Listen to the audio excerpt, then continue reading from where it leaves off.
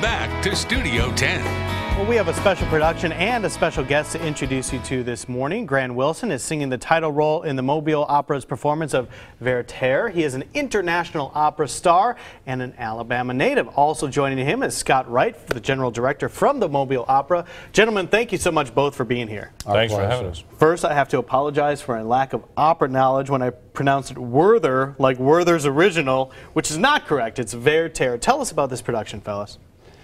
Well, Werther is uh, an opera that is not done as often as some of the uh, more popular operas like La Boheme or Madame Butterfly, but the music is magnificent. It is a Massenet score, a French setting of the Goethe novel, The Sorrows of the Young Werther. Mm -hmm. It's a psychological drama, and um, the uh, progresses, we are allowed to hear the characters' uh, thoughts about what they want to do, not so much the actions, but their, their own inner thoughts. The music is gorgeous, like movie music. And Scott, he mentioned that this is not one of the most commonly performed operas, so why did you choose to bring this one to the Mobile stage? I've been asking every general director of Mobile Opera for 20 years probably to put this on, uh, program this.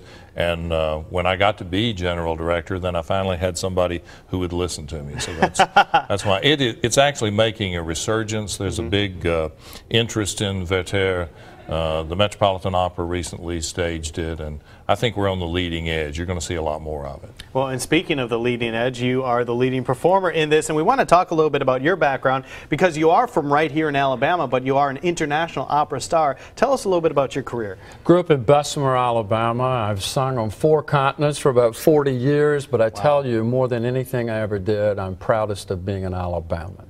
And to come home and sing is just such a thrill for me. And I have a special place in my heart for the Mobile Opera and for this city because when I was struggling and trying to get this career started up in New York, Benton Hess, who was then the artistic director of the Mobile Opera, heard me and brought me here. And in 1982, I made a debut here, and that launched my career. And I would not have had the life that I had if it hadn't been for that help. And I uh, have always had a special sense of gratitude to Mobile for that. And it gives me great pleasure to come back home and see this thriving, vital arts district in mm -hmm. Mobile, which I'm so proud of that. I think that's fantastic. And in terms of this performance specifically, a lot of people without a vocal background don't realize that some pieces are far more challenging than others. You said this is a very challenging piece for yourself. You're a tenor. Yeah. Yes, it's a, uh, it's it's a real tour de force for the tenor.